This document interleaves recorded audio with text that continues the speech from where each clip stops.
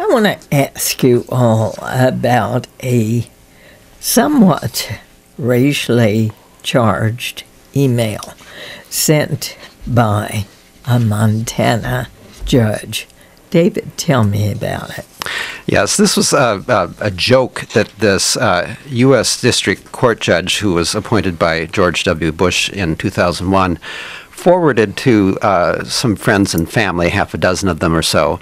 Uh, and it uh, essentially was uh, about uh, a little boy uh, who is um, black asking his white mother um, about his, father, and, and, and, and the, the, the, the, the mother. Yes, why am I black and you're white? Exactly, yes. And, and, and the mother says, well, you know, if, if you're lucky that, that you're not a dog um, after the party that I went to. I mean, this this is the you know an outrageous kind of thing um, to think that a, a, federal judge would be forwarding it's this. It's outrageous from anybody, but to think that a federal judge, Shawna, would send this out. It just highlights that this is not necessarily the post racial society people would like it to be post President Obama being elected.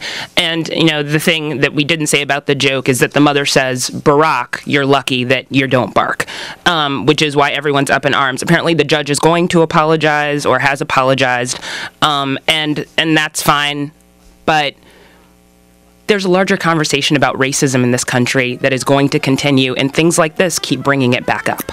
One last comment on that email sent by the Montana Chief U.S. Di- uh, District Judge Richard Cebull.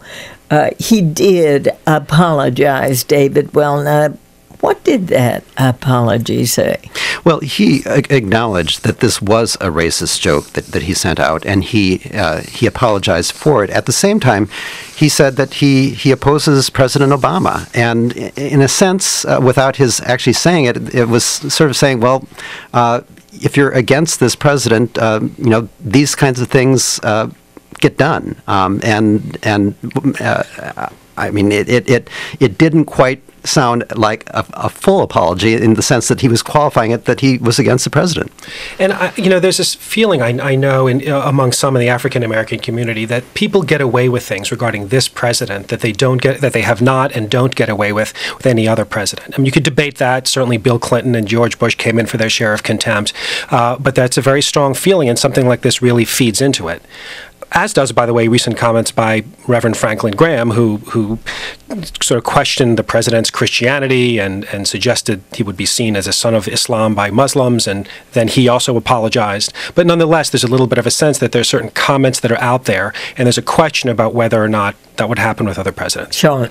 And yesterday we had Sheriff Joe Arpaio out talking about the president's birth certificate again, and this this is something that won't go away no matter how much we deal with it. And that just plays into this idea that they wouldn't be asking these questions if he were white.